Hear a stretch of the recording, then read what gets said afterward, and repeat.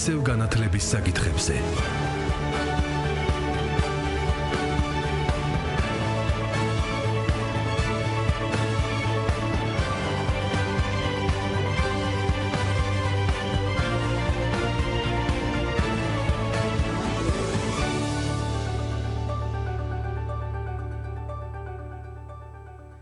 მოგესალმებით მეგობრებო ჟურნალისტი ნინო დათუკიშვილი და აქვე მოგახსენებთ რომ თქვენს ყურადღებას დღეს ორ თემაზე შევაჩერებთ. ერთი გახლავთ ივან ჯახუშვილის სახელობის სახელმწიფო უნივერსიტეტში არსებული საბავშვო უნივერსიტეტი და ის სიახლეები რასაც თავაზობენ მეორე კი გახლავთ ესე იგი აბიტურიენტთა მომზადება იგივე ივან ჯახუშვილის სახელობის სახელმწიფო უნივერსიტეტში რაზეც ჩვენ მარჩიც გქონდა საუბარი თუმცა ვფიქრობთ რომ დღეს როდესაც აბიტურიენტები აბიტურიენტები აქტიურად იწყებენ მომზადებას, უკვე ძალიან საინტერესო იქნება მათთვის თუ რას თავაზობს ჯავახიშვილის სახელობის სახელმწიფო უნივერსიტეტი. და არა მხოლოდ აბიტურიენტებს მეგობრებო, ასევე მათ, ვისაც სურს საერთო სამაგისტრო გამოცდაზე გასვლა. აა ეს ორივე სამსახური, ასე ვთქვათ, საბავშვო უნივერსიტეტიცა და ეს მეორეც, რომელიც თქვი, შედის აკადემიური განვითარების და უწყვეტი განათლების ცენტრში. ეს როგორც მოგახსენეთ აბიტურიენტთა მომზადების განყოფილება და საბავშვო უნივერსიტეტი. აბიტურიენტთა მომზადების მოსამზადებელი განყოფილების ხელმძღვანელი ქალბატონი ირმა ხარშილაძე პროფესორი აქ ბრძანდება მასთან ერთად მოვიდნენ ასევე კონკურსში გამარჯვებულები და ამაზე ვისაუბრებ ჩვენ საერთო სამაგისტრო გამოცდის კონკურსში ახალგაზრდები რომელთაც ცოტა მოგვიანებით წარმოგიდგენ. ჯერ კი მინდა სიტყვა დავუთმოთ თბილისის ივან ჯავახიშვილის სახელობის სახელმწიფო უნივერსიტეტის საბავშვო უნივერსიტეტის ერთ-ერთ დამფუძნებელს ქალბატონ მარინა ლომოუს პროფესორს რომელიც ფაქტიურად დამფუძნებელი შეიძლება არ უნდა თქვა უნდა თქვა ესე იგი ეს გახლავთ მისი სულის ჩამდგმელი ჩვენ ქალბატონი მარინა თავიდანვე იყო ჩვენი გადაცემის სტუმარი არაჩვეულებრივი ქალბატონი რომელიც დღეს აი მართლანია და ფიქრობს იმაზე თუ როგორ მიეშველოს ჩვენ ახლა შემოსვლამდეც. საუბრობდით იგივე სკოლას იგივე ჩვენს მოსწავლეებს რომელთა მშობლებსაც არ აქვს საშუალება რომ ბავშვები ატარონ სხვადასხვა წრეზე აი და არა და რამდენი ბავშვია ქალბატონ მარინა ვისაც მიდრეკილება აქვს სხვადასხვა დარგისადმი და ფაქტიურად შესაძლებელია ხოლმე რომ თვითონ ამ საბავშვო უნივერსიტეტში ჩამოყალიბდეს მათი არჩევანი სამომავლო აი პროფესიისა ხო? აქვე ისიც მინდა ვთქვა რომ სულად უანგაროთ ეს თქვენი ჩვენი ივან ჯახუშის სახელობის სახელმწიფო უნივერსიტეტის პროფესორ-მასწავლებლები უტარებენ მათ ლექციებს და ყველაფერზე შეგვიძლია მოკლედ საუბარი შეიძლება. მივესალმები თქვენს მსმენელებს. ძალიან სასიამოვნოა კიდევ ერთხელ თქვენთან შეხვედრა. იმიტომ რომ ძალიან მნიშვნელოვანია რომ ჩვენს შესახებ რაც შეიძლება დიდმა აუდიტორიამ გაიგოს.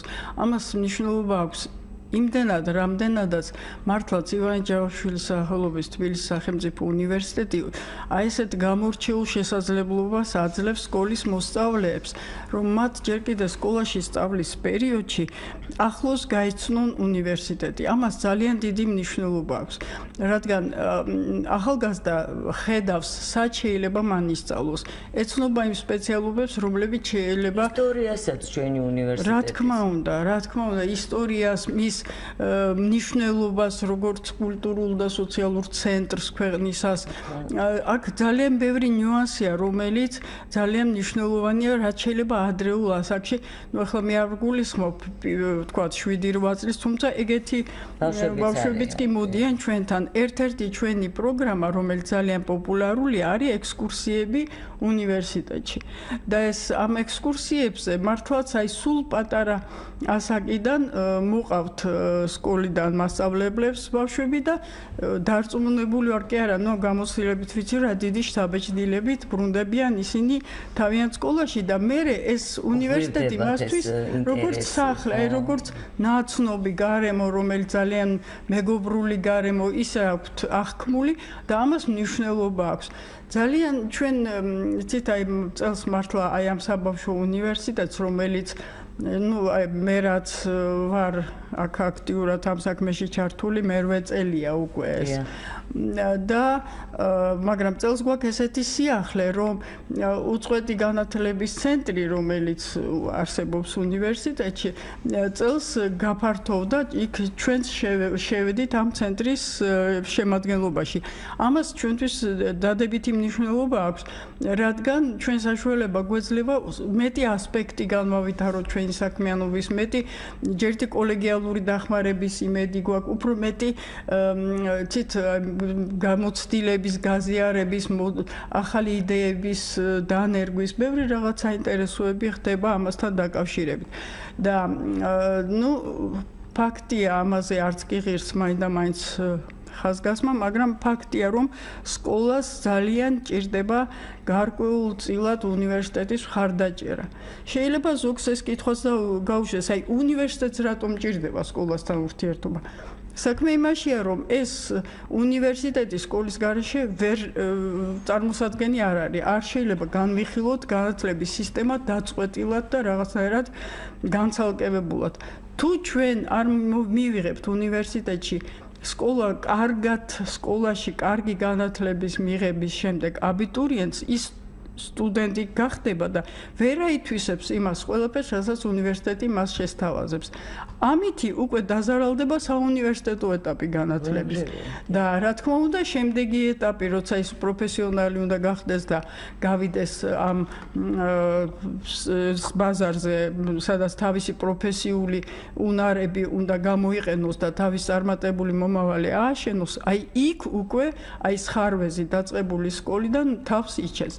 ამიტომ ჩვენ ძალიან ვცდილობთ მაქსიმალურად რომ ინტერესი უნდა იყოს იქიდანაც სკოლიდან არის. ინტერესი არის. ჯერ ერთი ეს უნიკალური შესაძლებლობებია წარმოიდგინეთ ჩვენ ვთავაზობთ უფასო პროგრამებს. სრულიად უსასყიდლო თავისუფალი ეს არის რამდენი სამი ძირითადი პროგრამა ასეთი. ერთი როგორც გითხარით ექსკურსიები და ჩვენ ძალიან ბევრს მოგზაურობთ რაიონებში რეგიონებში ვცდილობთ ყოველთვის ეს ჩვენი იდეა უნივერსიტეტისა მივიტანოთ იქ, მაგრამ თანაც დავპატიჟოთ ისინი ჩვენთან, იმიტომ რომ ერთხელ ნანახს მაინც ძალიან დიდი მნიშვნელობა აქვს და მართლა ძალიან ბევრი მოდის აი ამ უნივერსიტეტის სანახავად. ეს ერთი ასპექტი.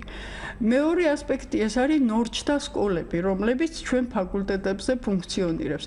ფაკულტეტის სპეციფიკიდან გამომდინარე, მათ სხვადასხვა ფორმატი აქვს საქმიანობის. და ესეც ძალიან მნიშვნელოვანია რომ მოზარდს მოსწავლეს შეუძლია ჯერ ერთი ერთდროულად იაროს ყველა აი ამ ნუ რამდენსაც რაც დაინტერესებს რამდენსაც მოახერხებს აი ამ ნორჩთა სკოლებში. იქნება ეს აი მაგალითად ძალიან საინტერესო არის ნორჩ ეკონომისტთა სკოლა რომელიც ძალიან სერიოზულად მუშაობს. ბოლოს ეს კონფერენციით თავდება იქ სტუდენტები თავიანთ ნაშრომებს წარმოადგენენ. ძალიან მნიშვნელოვანი ძალიან საინტერესო საბუნების მეტყველო ნორჩთა სკოლები ფიზიკაში მათემატიკაში ქიმიაში რადგან ეს საგნები, ეს ფუნდამენტური მეცნიერებები სამწუხაროდ არ არის ისეთი პოპულარული ჩვენს ახალგაზრდებში, როგორც როგორც უნდა იყოს. მით უმეტეს ეს გულდასაწყვეტია, რომ სპეციალობები, რომლებიც ეფუძნება ამ მეცნიერებებს, ძალიან მნიშვნელოვანი და ძალიან მოთხოვნადია. უნდა დავაინტერესოთ. რა თქმა უნდა, უნდა დავაინტერესოთ მარტივად, მათთვის გასაგებად შესაძლებელია ხა უფროსი კლასის მოსწავლეებისთვის უფრო თულად. და რაც თავარია შესაბამისად ასაგის ლაბორატორიული მუშაობები არის ლაბორატორიული მუშაობა. და აი ასტრონომ ნორჩ ასტრონომთა სკოლაზე მინდა მოგახსენოთ. ეს არის აი მართლაც ნუ ძალიან მნიშვნელოვანი შეიძლება ითქვას ადგილი და შანსი მოსწავლისთვის. პლანეტარიუმში ტარდება ეს ეს მეცადინეობები და იქ მოსწავლე იძენს იმ ცოდნას რომელიც სამწუხაროდ სკოლაში აღარ არის როგორც ავალდებულო ასტრონომია აღარ არის ავალდებულო არჩევითია და მაინდა-მაინც როგორც გამოსილების ვიცით ბევრ სკოლას არ აქვს არჩეული ეს სხვადასხვა კაბინეტში ტარდება ეს მეცადინეობები? ეს როგორ არის არ არის დიახ? აი როგორ არის? სალექციო მეცადინეობები ისეთ თქვათ ჰუმანიტარულ საზოგადოებრივ მეცნიერებებში ის ტარდება სალექციო აუდიტორიაში. არს არის ასტრონომიაში ტარდება პლანეტარიუმში. ექსპერიმენტულ ფიზიკაში შესაძფერისად კაბინე იმ ლაბორატორიაში სადაც არის სპეციალური აღჭურვილობა. ქიმიის ნორჩქიმიკოსთა სკოლა ასევე მიმდინარეობს ქიმიურ ლაბორატორიაში და უნდა გითხრათ, რომ ზოგჯერ ჩვენ ექსკურსიაზე მოსულ ბავშვებსაც წავიყვანთ ხოლმე ლაბორატორიებში, რომ ნახონ ის, რაც სკოლაში სამწუხაროდ აღარ აღარ ხდება მისი დიახ აი ამ ცდების იმიტომ რომ ცდას როცა პედაგოგსაც ეწყობა ამეთი ხერი ძალიან პედაგოგები მოდიან ხოლმე პედაგოგები იცით კი კი ყოველთვის მოდიან და ჩვენ ძალიან ბევრს მათთან თანამშრომლობ და უთქვამთ კიდეც რომ ჩვენთან მოსვლის შემდეგ აი თქვა ინტერესი აი ფიზიკის, ქიმიის მიმართ გაცილებით მეტია. და თქვენ წარმოიდგინეთ, აი ეს შეკითხვა, აი რატომ უნდა ვისწავლო ფიზიკა? ჩვენ ამ შეხვედრების დროს მუდამ ვუყვებით და ამას აუხსნით, რომ პროფესიის არჩევის დროს ნებისმიერი ანალიტიკური საქმიანობის სპეციალობა, ვთქვათ, ის რაც რაც ექსპერტიზას მოითხოვს სპეციალურ ფიზიკურს, ქიმიურს ძალიან პერსპექტიულია. საქართველოსი და საქართველოს ფარგლებს გარეთ და ეს ისეთი მეცნიერებები რომლებსაც ენობრივი ბარიერიც ნაკლებად აფეთქებს. ხა რამდენი ახალი სიახლეა რა თქმა უნდა ტექნოლოგიები, ბიოტექნოლოგია, ქიმიური ტექნოლოგია, ფარმაცია ძალიან მნიშვნელოვანი. ერთ რამეს მინდა კიდე სიახლეს გაუსვა ხაზი. ჩვენ ეს როგორც მოგახსენეთ, ყველაფერი არის უფასო პროგრამა, მაგრამ წელს ჩვენ შემოვიტანეთ სამი ფასიანი კურსი, ეს არის მათემატიკა, ფიზიკა და ქიმიაში. იმ მოსწავლეებისთვის, ვისაც უნდათ სკოლის კიდევ გარეთ, კიდევ ცოტა მეტი შეისწავლონ. ეს უკვე უფრო სხვანაირად სხვა ფორმატით წარიმართება ეს უკვე მეტად ეს არის დამხმარე სწავლება რაღაცა. თუმცა აქ არანაირ რეპეტიტორობაზე არ არის აქ ეს არ არ წარმოიდგინოთ რომ ეს არის რეპეტიტორობა ეს არის უბრალოდ გაფართოება თვალსაწიერის ამ ფუნდამენტურ საგნებში. ეგ სურვილი ძალიან საინტერესოა და იმედი მაქვს რომ ის ახალგაზრდები ვისაც არის მაინც უკაცრავად. ფასი არის თვეში 60 ლარი. ახლა ჩვენც არ აგუნია რომ ეს ძვირი იყოს. მით უმეტეს რომ აქ უკვე უფრო კონკრეტული ამოცანები დგება. ე ზუსტად რასაკეთებენ? რით განსხვავდება კიდევ ერთხელ შეგვიძლია? თუ კი ჩვენი აი ეს უფასო პროგრამები შემეცნებითი ინტერესის გამღვიძებელი, ისეთი საინტერესო აქცენტირება არის თანამედროვე მიღწევებზე ან წარსულის რაღაცა ცნობებზე, გააჩნია რამესნიერებებზე საუბარი ვარ. ამ შემთხვევაში აი ამ ფასიან კურსებზე აქცენტირებული არის და იმ მასალის გაფართოვება და უფრო ღრმად დაუფლება, რაც სასკოლო პროგრამითაა გათვალისწინებული. ძალიან საინტერესოა ეს და ისიც არის კიდევ ალბათ საკითხავი, რომ თვითონ აი პირველ როდესაც თქვენ ბრძანებთ, რომ არ არისო ეს ეს არისო, ხო, მეორე.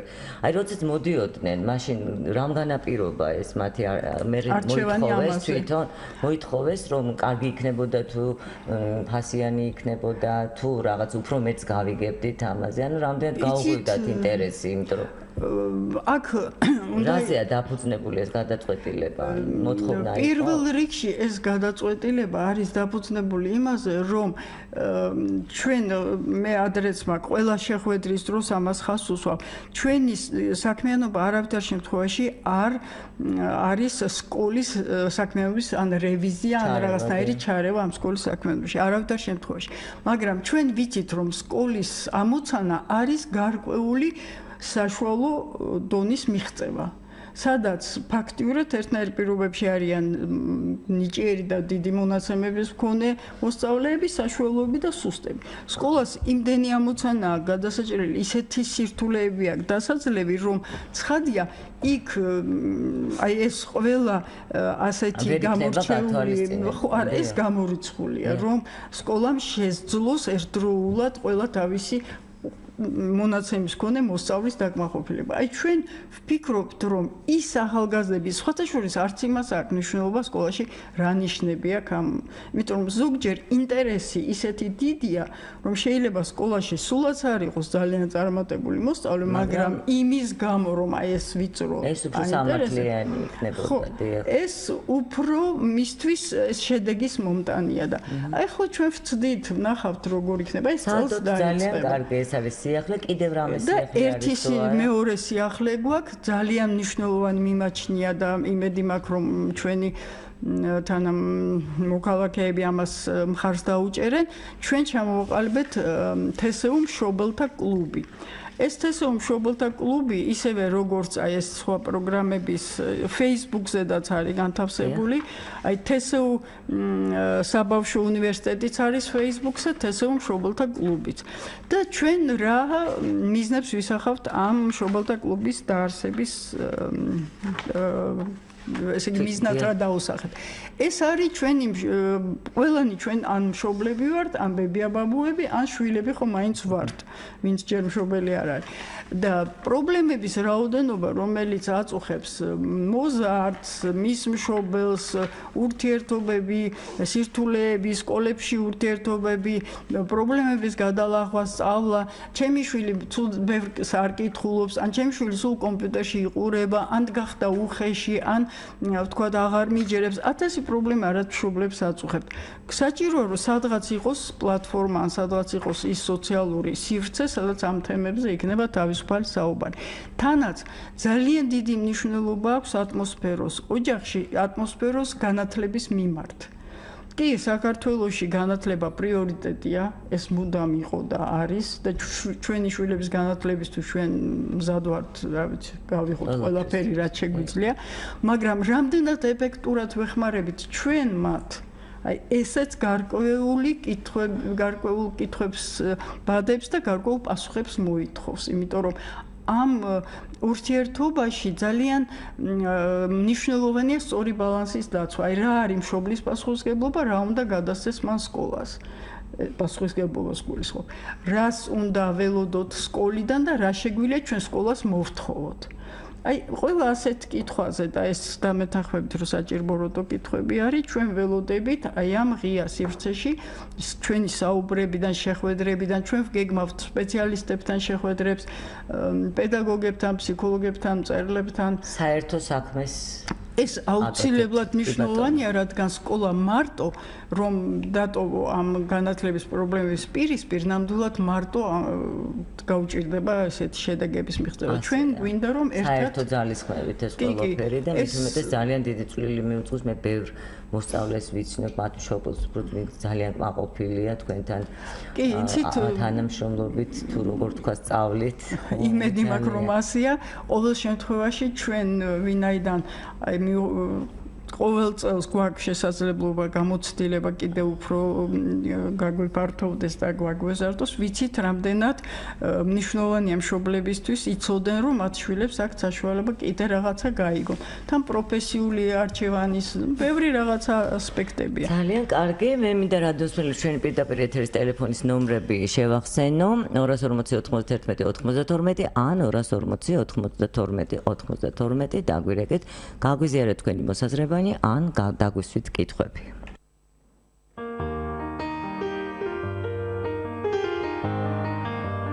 თუ სურვილი ძლიერია, საქმეც უნდა გამოდიოდეს. ილია ჭავჭავაძე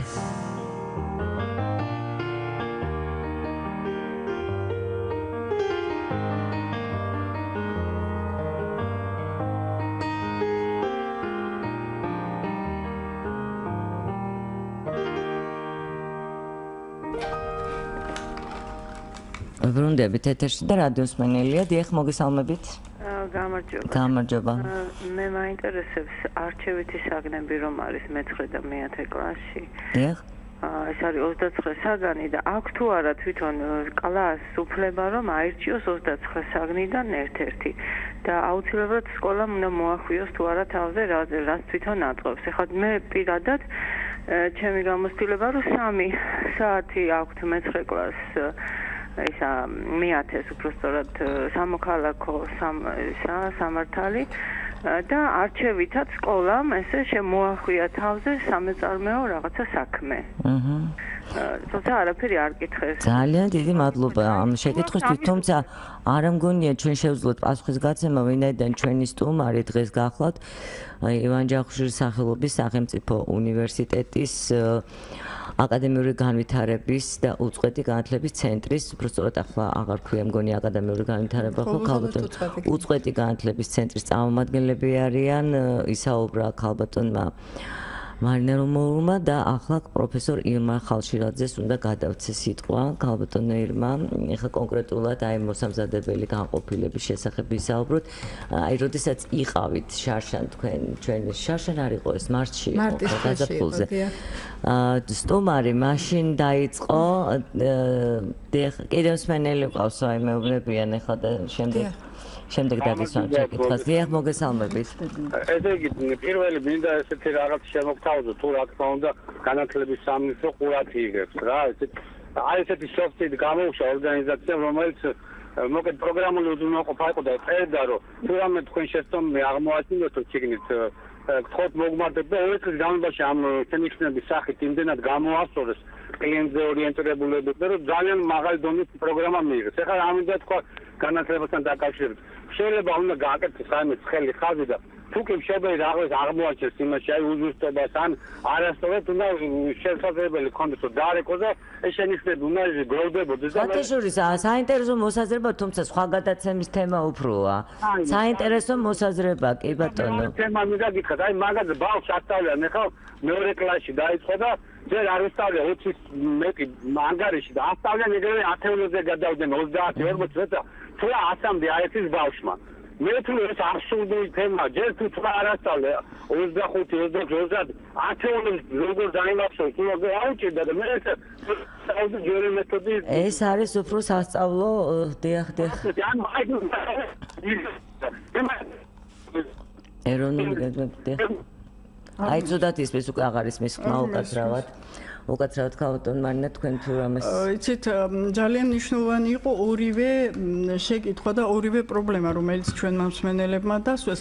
პირველთან დაკავშირებით მინდა შევთავაზო ჩვენ მსმენელს აი სწორედ ამისთვის შევქმენით ჩვენ მშობელთა კლუბი და მისი თავისუფალი სივრცე რომ აი ასეთი საკითხები განვიხილოთ.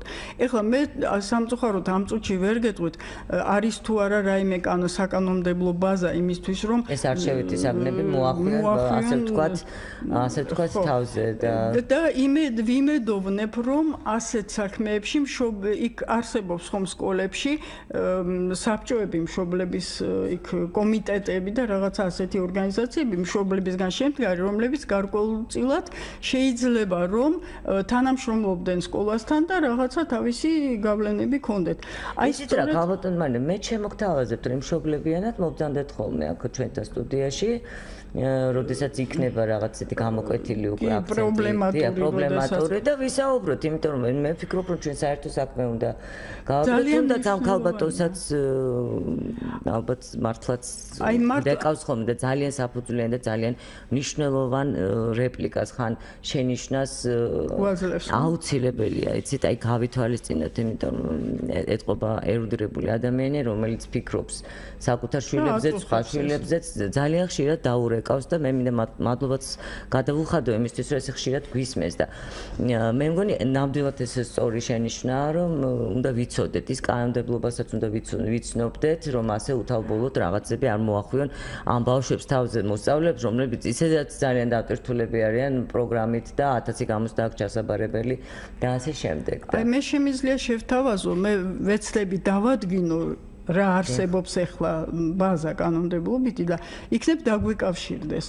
აი გინდაც აი ამ Facebook-ის მას შეუძლია დარეკოს ჩვენ ნომერზე და დაგვიტოვოს ნომერი თუ კი სურვილი აქვს და შემდეგ და მე დაურეკავ და დაველაპარაკე. აა ეხლა რა შეეხება მეორე კითხვას, მეორე საკითხს ეხლა ეს უბრალოდ ჩვენ ცოტა არ მინდა რომ გადაუხვიოთ თემას, იმდენი გვაქვს ალაპარაკო და ახალგაზრდა სტუმრების ყოს რომელიც ეს კი წარუდგინეთ ჩვენს მენელებს. ქალბატონი ირმა შარშან შევ მარტში შევხვდით ჩვენ ერთმანეთს და მაშინ უკვე მოახლოებული იყო საერთო სამაგისტრო გამოცდა ჩვენ და გამოვაცხადეთ კიდეც რამდენი იყო დარეგისტრირებული.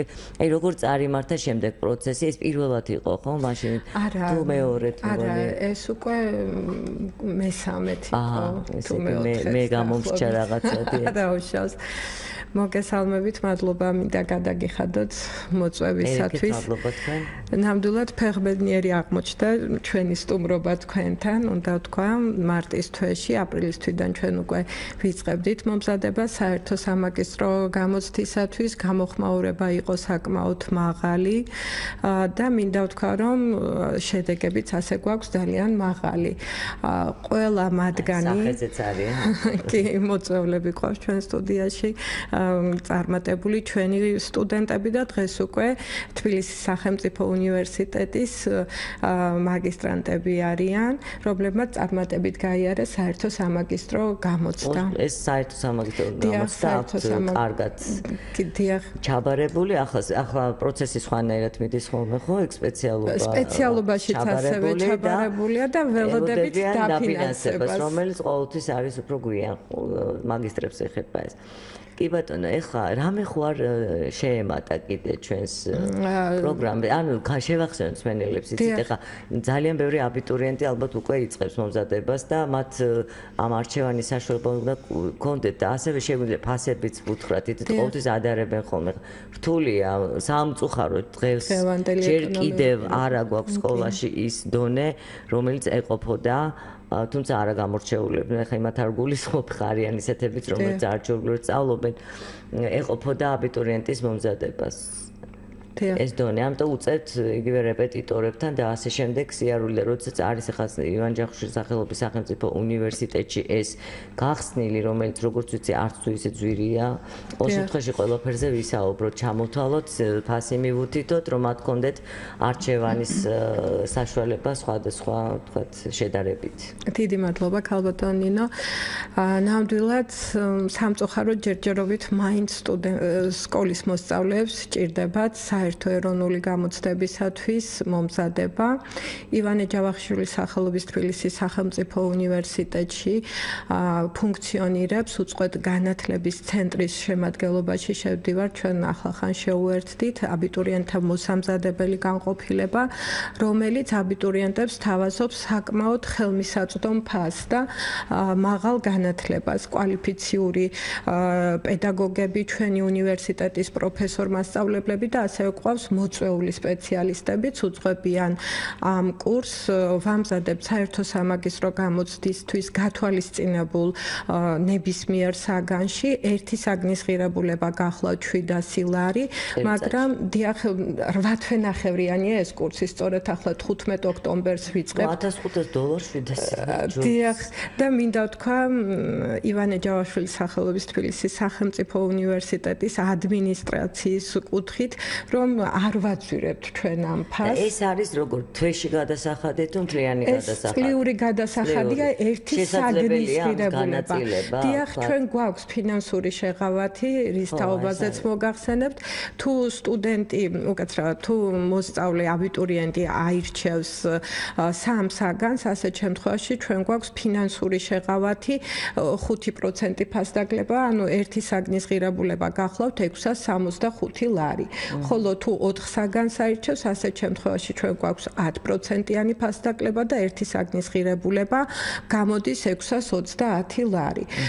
ხოლო თუ 2 საგანს აირჩევს, ისევ რჩება 700 ლარი, მაგრამ ორი საგნიდან უკვე მათ შეუძლიათ ეტაპობრივად გადაიხადონ გადასახადი. გარდა ამისა, მინდა ვთქვა, რომ ჩარიცხვა ხდება ტესტირების საფუძველზე, ჯგუფებში განაწილება უფრო სწორად.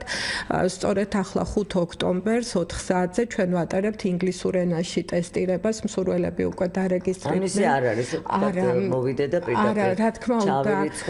არა, იმიტომ რომ აქ არის დონეების მიხედვით ჯგუფებში განაწილება და შემდგომ უკვე გვაქვს ასევე ზოგადუნარებში გვაქვს ტესტირება, იმიტომ რომ არ უნდა მოხდეს დაჩაგვრა ძლიერი, ესე იგი მსვენელთან, აბიტურიენტთან უნდა იყოს ისევ ძლიერი საშუალო ჯგუფში საშუალო, თუმცა ეს პირობითია. ასე გეთანხმებით, აი. ძალიან კარგი იქნებოდა თქვენ რა სიტყვით რომ არის გამოცდილება სკოლაშიც იყოს, კი არის, მეც ვიცი გამიგია ამის შესახებ, რომ კიდევაც ესე იგი კლასი თქვა მე-5 მე-6 კლასი არა მნიშვნელობა თუ ერთი დონე ხო ერთი დონე თუ დიახ კი თუმცა ხდება ისე რომ შეიძლება პირობითად სუსტი აბიტურიენტი გადავიდეს შემდგომ უფრო საშუალო ჯგუფში ან პირიქით საშუალოდან გადმოვიდეს სუსტში ასეც ხდება. რა ის კი რა საგნებია ჩამოთვალოთ კიდევ ერთხელ საგნები არის ყველა ის საგანი, რაც გათვალისწინებულია ეროვნული გამოცდებისათვის. კი, ქართული ენა და ლიტერატურა, ისტორია, გეოგრაფია, ფიზიკა, ქიმია, არ მინდა რომელიმე უცხო ენა და ოთხივე ყველა ყველა რაც ზოგადი უნარები, დიახ, ყველაში ვამზადებთ და უნდა ვთქვა, რომ თვითონ მომზადების ხანგრძლივობა გახლავთ კვირაში 4 საათი, ორჯერ ვიკრიბებით კვირაში ორჯერ და ერთი მეცადინეობის ხანგრძლივობა 2 სრული საათი გრძელდება. ასევე ძალიან მკაცრი აღრიცხვა გვაქვს, კონტროლი გვაქვს, ძალიან მჭიდრო თანამშრომლობა გვაქვს თავად მშობლებთან და უნდა აღვნიშნო, რომ სტუდენტებიც ეჩვევიან უნივერსიტეტის გარემოს, თუნდაც იქ ქცევის წესს და ასე შემდეგ. აი ამ კუთხით ნამდვილად საინტერესოა. რაც შეეხება საერთო სამაგისტრო გამოცდას, ესეც ამ გამოცდაშიც არის მომზადება, ხო? დიახ, ამ გამოცდაშიც მომზადებთ. დიახ, საერთო სამაგისტრო გამოცდისათვის აქ თბილისის ივანე ჯავახიშვილის სახელობის თბილისის სახელმწიფო უნივერსიტეტის სტუდენტებისათვის ჩვენ მქონდა ფასდაკლება, სამთვიანი კურსის ღირებულება იყო 285 ლარი, ხოლო სხვა სტუდენტებისათვის 570 ლარი. ეს სამთვიანი კურსი გახლავთ, მინდა ვთქვა, რომ ძალიან წარმატებული იყო წლ ლევანდელი ჩვენი მეცადინეობა რაც აისახა კიდევ შედეგებს. მოდით სტატისტიკაზეც ვისაუბროთ მიახლოებით მაინც თუ ვიცით. დაახლოებით შეიძლება ხმამაღალი ნათქვამია, მაგრამ აი მე ვეცადე ყველანაირად გადამემოწმებია ჩემი სტუდენტების მეშვეობითაც მე მგონია რომ ჩაჭრილი აქვს და ყველა ეს საუბარია საერთო სამაგისტრო რაც შეიძლება ბაკალავრიატს. იგივეა აბიტურიენტებთანაც და ერთამეს აბიტურიენტებთან დაკავშირებით აი სწორედ ახლა ჩვენ მათ ვეხმარებით სწორად განაცხადის შევსებაშიც. ახლა თქვენ გახსოვთ მეორად ჩარიცხებს რომ ითხოვდნენ. მათ არ ქონდათ სწორად ეს განაცხადი შევსებული და ამიტომ წარმოიშვა ეს პრობლემა და ჩვენ დიდი გამოცდილება გვაქვს ამ კუთხით. ხედავთ კიდევაც წელი წლის განმავლობაში მათ შედეგებს და შესაბამისად მათ მშობლებთან კი რა თქმა უნდა უჩევთ და აი ამიტომ არის ჩვენი წარმატების ერთ-ერთი ამას გულწრფელად ვამბობ ესე იგი გონია თუ არა იყო ყოფილა თუ არა შემთხვევა რომ მიატოვა თქვა თან აი გეტყვით ახლა ჩვენ ვაძლევთ როგორც აბიტურიენტს ასევე მაგისტრანტობის კანდიდატს ორი კვირის განმავლობაში ჩვენ მათ ვაძლევთ საშუალებას რომ გადახედონ რამდენად დაძლევენ პროგრამას. ხდება ისე რომ ისინი ვერ ძლევენ პროგრამას და ჩაჭრილს ნამდვილად გვირჩენია ის რომ წავიდეს და აი ამ შემთხვევაში თანხა რა ხდება რაც იერა იმას იქნება ეს თუ როგორ არა პირველი ორი კვირის განმავლობაში არა შემდგომ უკვე ჩვეულებრივად ხდება გადახდა თუ თქვათ მან შემდგომ შეწყვიტა ეს ხელშეკრულებაში გვიდევს კიდევაც თუ თქვათ შეწყვიტა ერთი თვის შემდეგ ხდება საათობრივად ამისი ასე სამართლიანად რასაკვირველია მე თვითონაც იურიდიული ფაკულტეტის პროფესორი გახლავართ და რა თქმა უნდა სამართლიანად ხდება ამ ყველაფრის არა ჩვეულებრივია. ეხლა გადავცეთ მე მგონი. მე კიდე რამე გვაქვს ქალბატონო ირმა სათქმელი თუ გაგახსენდება შემდეგ შეგვიძლია დავუმატოთ ესე იგი არ არა მე უნდა გკითხოთ ეს როდის იწყება კიდე ერთხელ გავიმეოროთ 4-ში უკვე 15 ოქტომბერს ვიწყებთ ჩვენ მეცადინეობას მაგრამ 5 ოქტომბერს გასაუბრება ცადუნა მოვიდნენ ზუსტად ტესტირებაზე უნდა მოგძადნენ ეს გახლავთ ქეთევან წამებულის გამზირი ნომერი 55 ჩვენი უნივერსიტეტის შენობა გახლავთ მეტრო 300 არაგველებთან არის ძალიან ახლოს.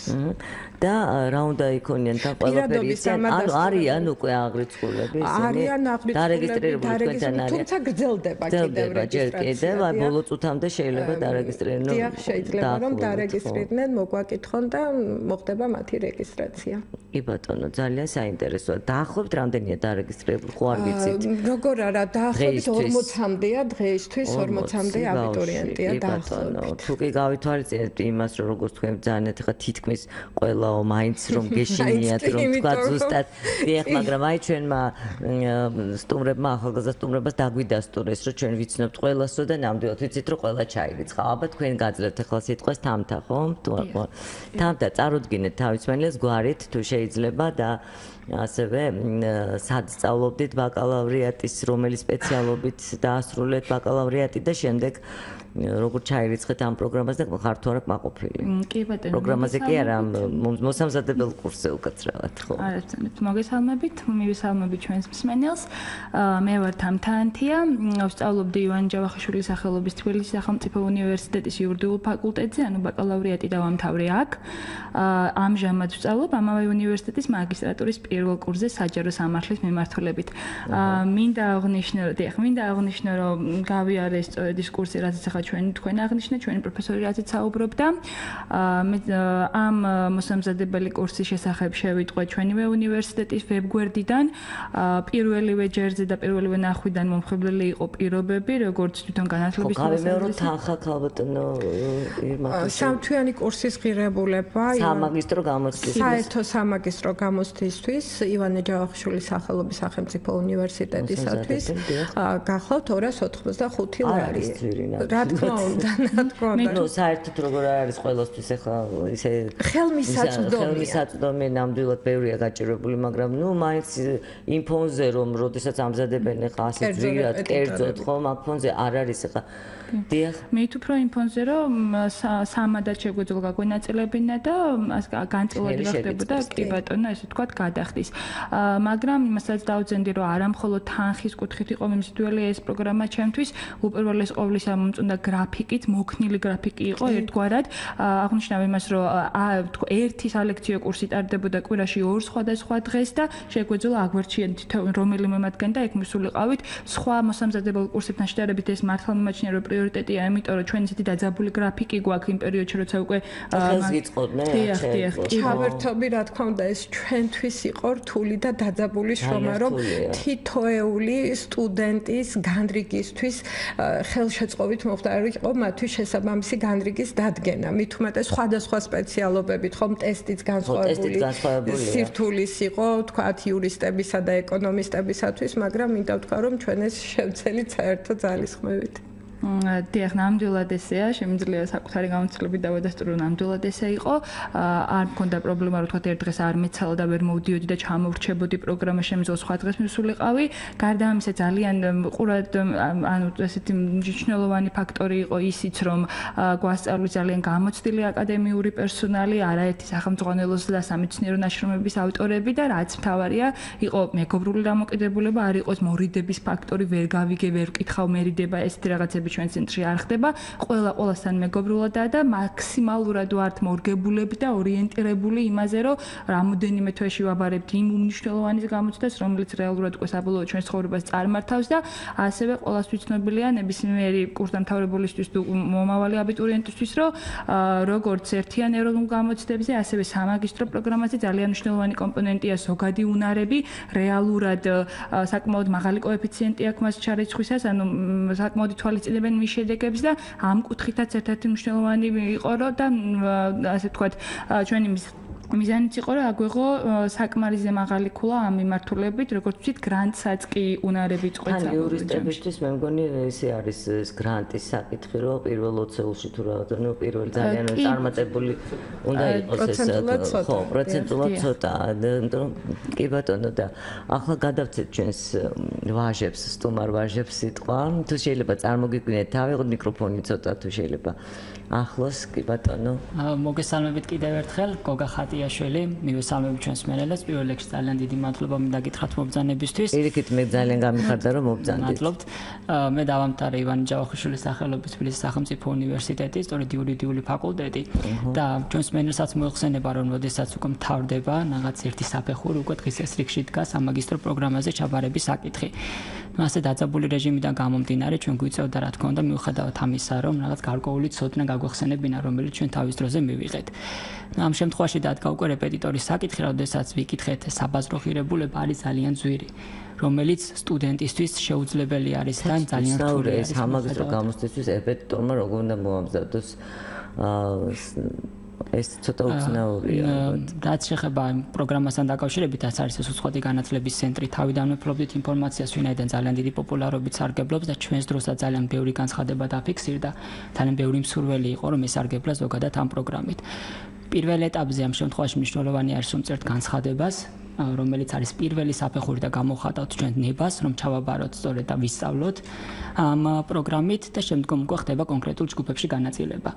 ძალიან კარგად ისაუბრეთ ჩვენს პედაგოგებთან დაკავშირებით და აღნიშნეს, რომ არიან ძალიან გამოცდილი სპეციალისტები, არაერთ სახელმძღვანელოს ავტორები, რომლებიც ეფექტურად ასწავლიან იმ სისტემას, რომელსაც ჩვენ ასე ვთქვათ დაინერგა.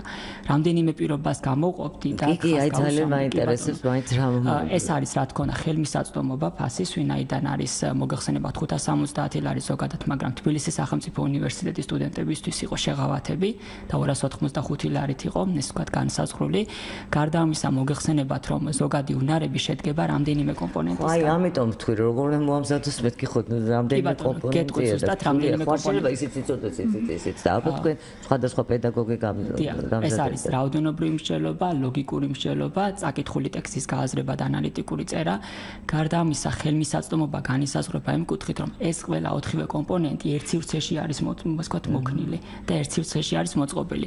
მაშინ, როდესაც შეიძლება მე რეპეტიტორთან მომენტ მოსკოთ რეპეტიტორთან შეიძლება განხორციელებული ყო და უშუალოდ რაოდენობრივი მსჯელობა ერთთან უნდა ყოფილიყო, იგივე შეიძლება რაოდენობრივი მსჯელობის სპეციალისტი და უშუალოდ ვერ უზრუნველყოფდა იმას, რომ იგივე წაკითხulis გააზრებაში ან ანალიტიკურ წერაში ვინაიდან ამას ფილოლოგი სჭირდება და სპეციალური ცოდნა, ამიტომ ვთქვი, რესურსის მხრივაც ჩვენ არ გქონდა იმდენი დრო, რომ დაუშვათ ამ ოთხივე კომპონენტში ინდივიდუალურად მომზადებულიყავით.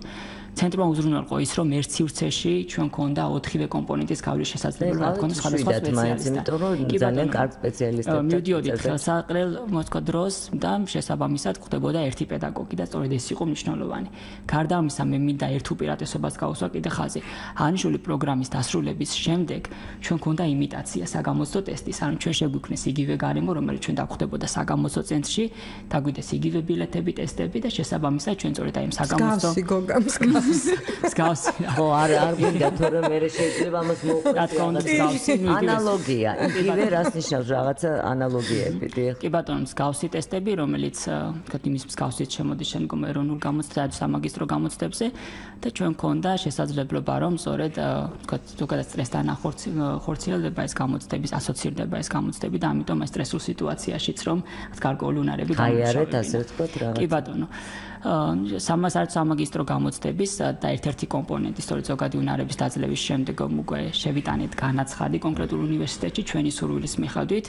და შემდეგი შემდეგი ეტაპი იყო სწორედ გამოცდა უცხო ენაში რომელიც გავიარეთ და უკვე ბოლოს საფეხური და მესამე კომპონენტი გამოცდის ეს იყო პროფესიული გამოცდა. სწორედ პროფესიული გამოცდის წარმატებით დაძლევის შემთხვევაშიც განიხილებოდა ამ შემთხვევაში აბიტურიენტის სამაგისტრო პროგრამაზე ჩარიცხვის საკითხი. ამჟამად რა ვიცი ძალიან მიხარია რომ ისე ვარ თბილისის სახელმწიფო უნივერსიტეტის სტუდენტი, ოღონდ ახლა უკვე მაგისტრატურის სტუდენტი, სისხლის სამართლის მიმართულებით. მე მინდა ჩვენს მსმენელს, ჩვენს აბიტურიენტებს, ასევე იმ აბიტურიენტებს, რომლებიც ბაკალავრიატზე აბარებენ და ასევე ისინიც, რომლებიც ბაკალავრიატს ამთავრებენ და აპირებენ უკვე მეორე საფეხურზე გადასვლას წარმატებები უსურვო და ურჩევ რომ ისარგებლო ამ ცენტრით, ვინაიდან ძალიან წარმატებულ პირობებს თავაზობს. ძალიან კარგი. დიდი მადლობა. ახლა ჩვენს შემდეგ მსმენელს, მსმენელს უბრალოდ შევახსენებ პირდაპირ ეთერის ტელეფონით ნომრებს 240 91 92 ან 240 92 92 და თქვენ გადმოგცემთ. მოგესალმებით, მე ვარ თორნიკე ნემსვე ვერძეთ ჯავახიშვილის უნივერსიტეტის იურიდიული ფაკულტეტი დავამთავრე ბაკალავრიატი და ეხლა ვარ უკვე მაგისტრანტი საჯარო სამართლის მიმართულებით. აა თუ გადავხედავ დღევანდელ მდგომარეობას, აა ჩვენი საგამ ასე თქვათ მომზადების ცენტრი აა შეიძლება ითქვას სხვა ცენტრებთან შედარებით ორი ასპექტით არის მნიშვნელოვანი, გარდა იმისაზეც ისაუბრეს, რომ თქვათ მოქნილი ცხრილი არის. პირველი ეს არის ინტელექტუალური რესურსი, მეორე ეს არის სოციალური ფონდთან შესაბამისი თანხა. პირველში რას გულისხმობ, მაგალითად, ჩვენ ჯგუფს, ანუ იქ ჯგუფების მიხედვით, უბრალოდ სპეციალობების მიხედვით არის მასწავლებლები განაწილებული.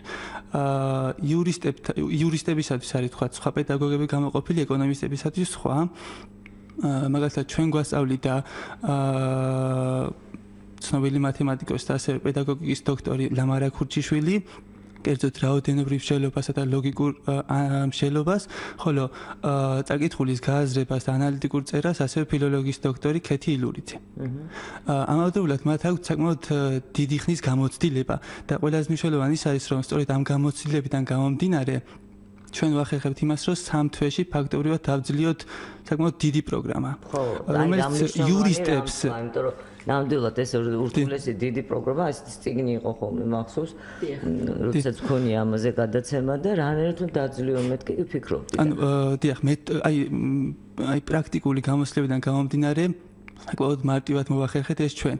ამავდროულად ისე შეგიქმნეს პირობები, ხო? რა თქმა უნდა. და თანამავდროულად მათ მუშაობის სპეციფიკა აი სწორედ იურისტ მეთოდი იურისტებზე იყო მორგებული, იქიდან გამომდინარე ჩვენ ფაქტორია ჩეხება არ გქონია, აი ვთქვათ იგივე მათემატიკასთან და ასე შემდეგ, რომ მოკლედ დროში მოვახერხეთ გახსენება ცირითადი მასალის.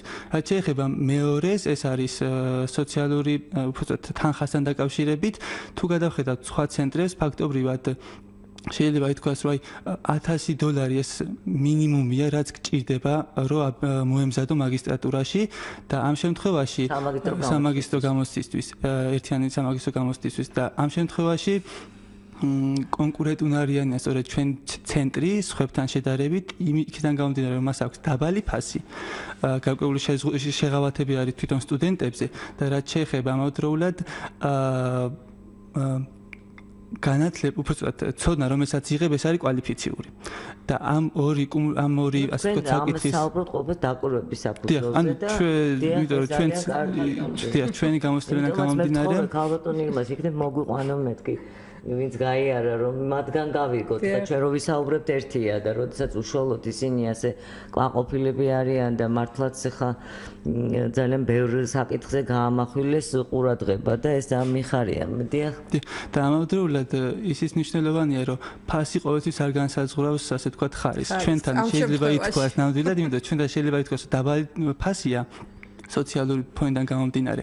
მაგრამ ხარისხი ნამდვილად მაღალია, იქიდან გამომდინარე, რომ მაგალითად ჩვენი მეგობარი დღეს ვერ მოვიდა, როდესაც საერთო კონკურსი შედგა, ანუ მაქსიმუმი შედეგი დაფიქსირდა 72 ქულა. და საქართველოს მასშტაბით პირველ ადგილზე სწორედ ჩვენი ცენტრის სტუდენტი იყო კი კი ნამდვილად დათო აბესაძე. დღეს ვერ მოახერხა მოსვლა და და ესა თქმა უნდა დამსახურება ჩვენი ცენტრის და ასე თქვა მისი კვალიფიციური პერსონალის. და დამოკიდებულების ასთავარია.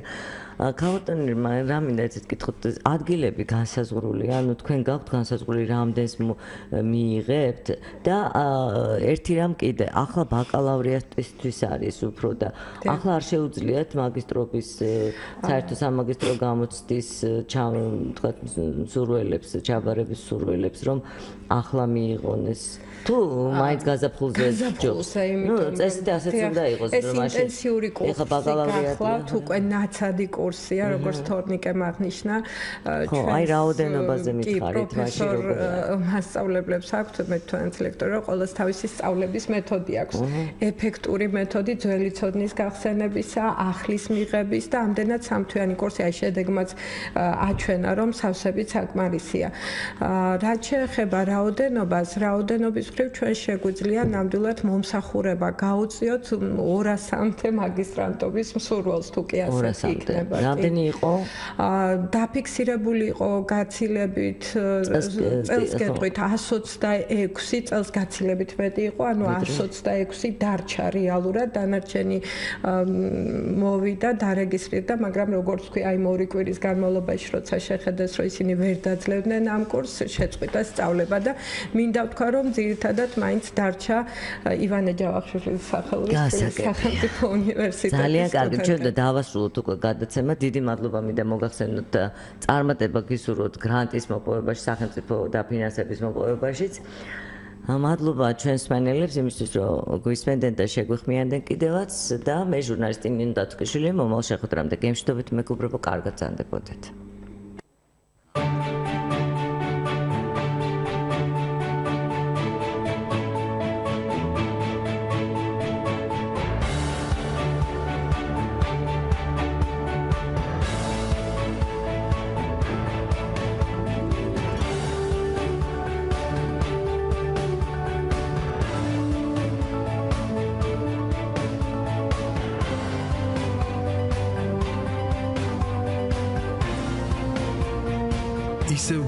საკითხებზე